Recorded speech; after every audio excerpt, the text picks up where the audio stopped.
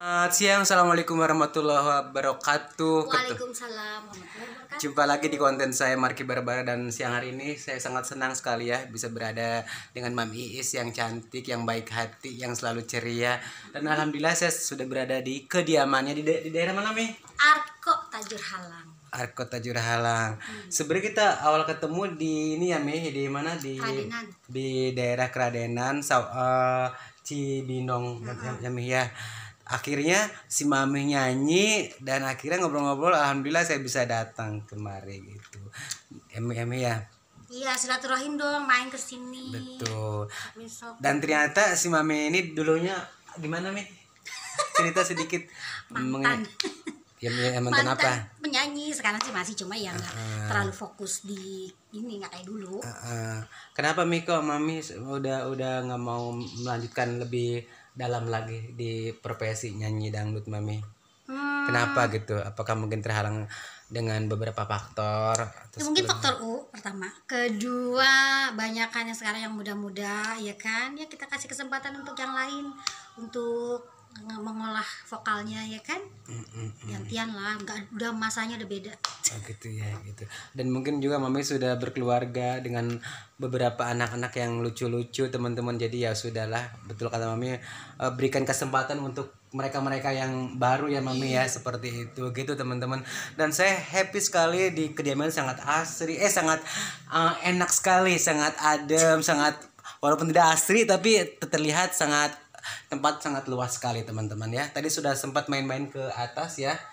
Mami Is juga eh, selain dulu berpres, berprofesi sebagai penyanyi dangdut, sekarang Mami lebih menekuni di bidang hijab ya Mi. Jual-jual hijab ya. ya Betul. Jadi Bisnis gimana dong lah. Mami? Promo dong. Ini kan seluruh negara bisa non nonton Mami. ya mungkin ada yang mau aku kan ikut live juga kan Udah- apa, bisnis live gitu online ya mungkin barangkali ada yang minat yes bisa monggo di apa namanya Iya apa Mi? di FB Isais itu aja Oh, i, atau Ciku Ciku Zen Cikujen apa itu? FB Oh, atau IG juga bisa IG apa namanya? is ya, is Iku Oh, apa yang Mami jual apa selain hijab? baju anak-anak eh, selama saya masih bisa ya baju kostum buat nyanyi Basya, iya. ada sepatu sendal banyak Oh gitu. Kebetulan saya juga tadi sudah mendapatkan baju-baju nyanyi yang oke. Menurut saya pribadi sangat bagus buat saya show gitu ya Mami ya. Next time insya mudah-mudahan Allah. cocok ya kan Amin, amin. bisa order lagi Amin insya Allah nanti saya silaturahmi lagi ke sini ya. Tapi ini ngomong-ngomong sepi ya teman-teman pada ke mana Mi? Biasa kan kalau hari kerja itu kan pada ini kerja ada di atas juga anak-anak Betul. Jangan tanya suami mami ya, karena suaminya lagi sedang tidak ada di rumah. Jadi bisa dilihat nampak sepi karena suami tercinta lagi kerja ya mami ya. Betul gitu. Terus mi eh, apa namanya, mam mami dulu nyanyi, nyanyi dangdut ber- berapa lama tahunnya kalau boleh tahu?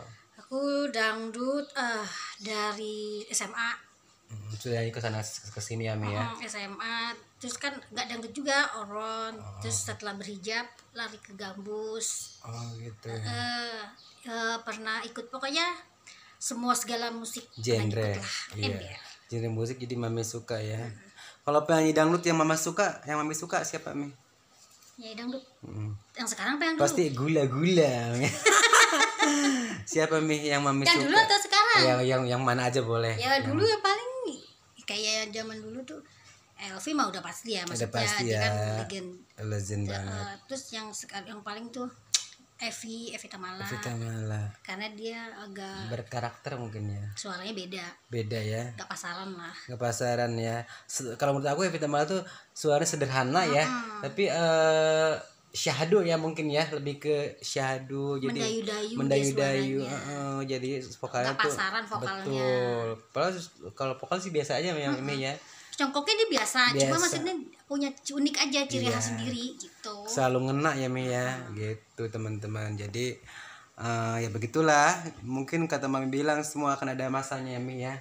Masa-masa kita apa ya eh, jaya. Jaya.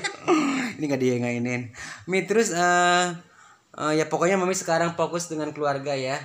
Harapan harapan mama mami apa ke depannya sebelum saya tutup? Harapan untuk apa nih? Ya untuk kehidupan untuk apa gitu rumah tangga apa untuk apa gitu apa. Ya semoga barokah aja segala-galanya. amin. Dan tetap istiqomah. Amin. Insya Allah ya Mi ya. Dan pesan-pesan untuk biduan-biduan yang sekarang lagi marak dan lagi menekuni bidangnya apa buat pesan buat mereka? Kalau untuk dari mami sendiri? Buat bidu-biduan oke. Kalau buat bidu-biduan ya kalau untuk pemula pem- pemula. pemula-pemula lebih belajar lagi vokalnya dan kostumnya lebih di maksudnya jangan terlalu kayak penyanyi dangdut kan? Betul. Kayak baju-bajunya baju buat main ke mall gitu kan. Bukan kan beda dong ke mall. Kita harus bedain. Kita kan ngejob itu kan ada harus ada kostum. Kostum nyanyi bukan kostum. Mall mall kan beda. Kalau yang sekarang yang aku pernah yang sering kuliah tuh mereka kayak orang nggak kayak nyanyi main aja. kayak main kayak gitu. lagi nyumbang. Heeh. betul. Nah jadi betul. nggak nggak nggak di oh ini penyanyi atau bukan ya? Gitu. Betul, jadi dia nggak betul. punya ciri khas kalau kita penyanyi harus ya, menter ibaratnya ya. Heeh. betul. gitu, betul penyanyi. sekali. Betul betul sekali teman-teman. Jadi saya pun sering lihat kadang-kadang penyanyi sama orang yang nyumbang dalam kostum hampir sama, jadi kita nggak bisa ngebedain. Padahal kalau memang mereka sedang ngejob ya memang harus harus diusahakan. Biar kata baju itu boleh minjem boleh apa harus menter ya mi? Ember. Harus nah itu kan nomor satu juga. Betul. maksudnya kan buat kelihatan lah oh performnya juga dia bagus. Jangan suara bagus tapi perform pakaian kostumnya kan Harus biasa aja. ya, oh, oh. Betul, sayang maksudnya betul. kan buat ngejual dia juga nanti lumayan kan tadinya jobnya sekian betul, jadi naik karena kostumnya betul. bagus gitu. betul oke mi buat yang buat yang nonton channel YouTube saya apa pesan-pesannya yang selalu nonton karena maaf ya mi aku sombong sedikit karena aku udah eh pokoknya gitu deh konten aku udah ke mana-mana udah merajalela sekarang tonton terus ya pokoknya jangan lupa pokoknya selalu tonton terus. Di jangan lupa nih di subscribe nih nih nih nih. Iya oke. jangan lupa desa nih yang punya. Ember.